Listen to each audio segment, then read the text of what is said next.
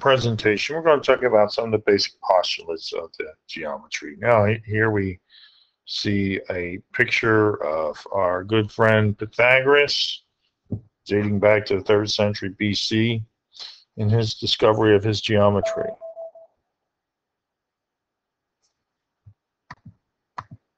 So, a postulate is a statement and is accepted without proof. Now, uh, we're going to have a bunch of different postulates. We're going to tag them according to the the chapter uh, that they occur in in the sequence. So postulate 1 1 is the first postulate of chapter 1. Postulate 1 4 is the fourth postulate of chapter 1, so on and so forth. Okay? It's not important that you remember the the the number given. It's more important that you remember the concept being discussed. Um, and most of these, although they're not uh, able to be proved, we will be able to illustrate them, uh, which we'll do in class with the geometry sketchpad. So postulate 1, 1, through any two points there is exactly one line, all right? Postulate 1, 2, two lines intersect, then they intersect exactly at one point. Postulate 1, 3, if two planes intersect, their intersection is a line. And postulate 1, 4, through any non through any three non-collinear points, there's exactly one plane. So here we show two lines, and these lines are, are constructed, uh, which also have algebraic names, which you should recall from your algebra. Uh, they're in the point slope form. And as you can see, these two lines do have an intersection, and we should be able to determine what is that point of intersection. Obviously, we can graph it, and from the graph, we can see the point C is a point of intersection whose coordinates are apparently here, negative 1, 2, 3, and negative 4. So it's negative 3, negative 4. Uh, now the question would be, uh, how is it found without the graph? Well, you'll have some exercises later, uh, which when you have the equations, you can find the point of intersection using some uh, algebra techniques that you should have already uh, solved. Some of the problems titled there would be solving simultaneous equations.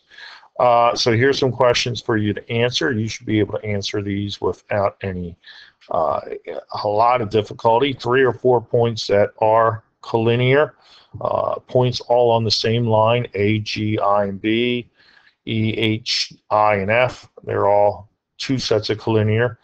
Three points that are not collinear, well, I could look at um, perhaps G and H and then take point I. They're non-collinear. I could look at point E and uh, F and then take point, point B, which is non-collinear with that.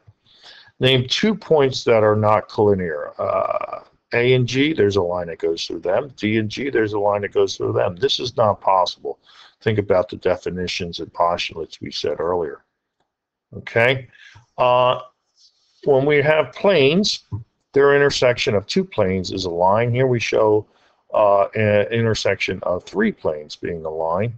Okay? Uh, and of course, we could have infinitely many planes intersecting at that same line.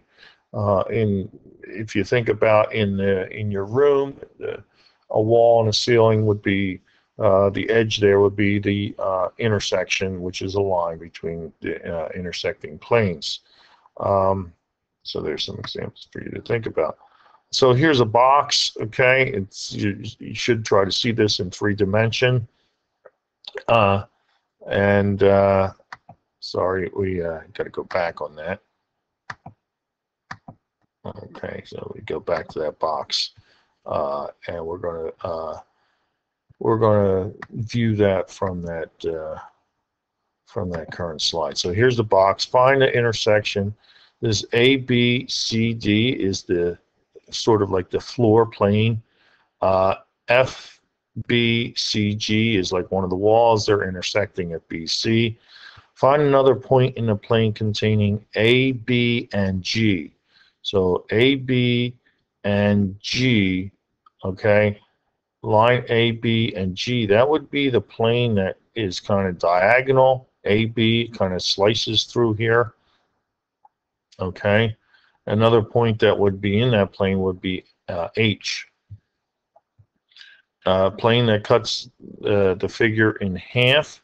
Okay, well, you could cut it diagonally with the plane HGBF. Think about another plane that you might use to cut it diagonally. Names, name the plane that share point D. Okay, well, point D is where three planes intersect. It's a corner. It's a corner of a room. It's where three planes intersect. You should be able to name them A, D, C, B, A, D, F, E, H, D, C, G. Uh, what planes contain the line F and G? What planes contain the line through FG?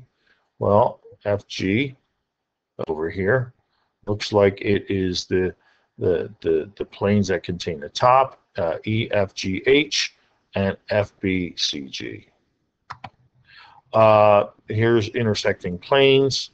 Uh, these two planes intersect at AB. Name a point coplanar uh, that is on the same plane as MA and B. Okay, MAB is this plane which is uh, kind of horizontal. A point coplanar in that plane, N or L. Name a, a non-coplanar point with Q, R, and P. Q, R, and P is this uh, shaded plane, okay? And a point non-coplanar would that would be anything on the unshaded plane, M, O, L, N. Name a plane containing line AB. Well, the two planes there both contain line AB. Uh, here's a three-dimensional coordinate system.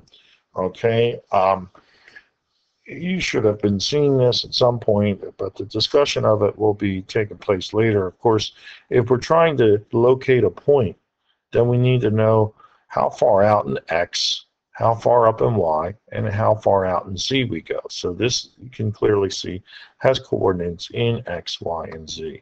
That's the end of